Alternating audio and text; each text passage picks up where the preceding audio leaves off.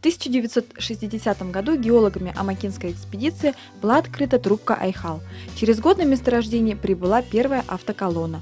На месте будущего поселка устанавливают первые палатки, строят временную фабрику. Чуть позже в поселке начинают строить деревянные дома, приезжают новые работники строится Айхал. Управляет делами в то время Георгий Кадзов, легендарная личность. Сегодня его называют основателем поселка.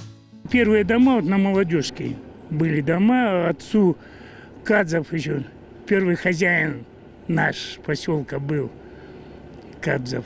Вот он ему многодетная семья, у меня я и, и три сестры. Нам, ну, у знакомых сначала мы пожили, а через год ему квартиру дали.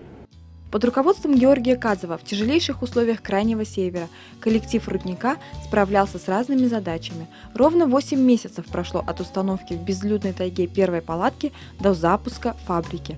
В 1961 году страна получила первые айхальские алмазы.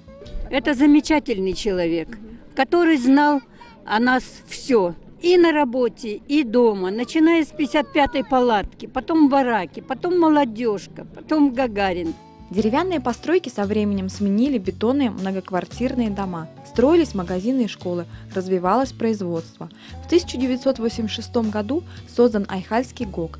Сегодня Айхал – моногород. Работы ведутся на четырех алмазных месторождениях. Создана инфраструктура. В поселке есть дворец культуры, музыкальная школа, дом детского творчества и спортивный комплекс. Красивый поселок, очень красивая природа, особенно летом. Когда уедешь на материк, так скучаешь, что-то не хватает. Все-таки север тянет.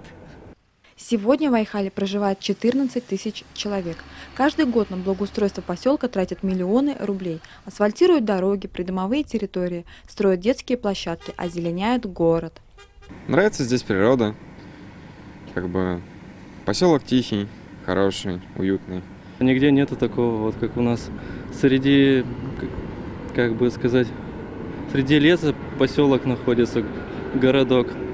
57 лет отметят в этом году Северный Айхал. Историю поселка в Айхале помнят и чтят. В городе открыт парк первооткрывателей. На главной площади установлен памятник Георгию Кадзову, основателю поселка.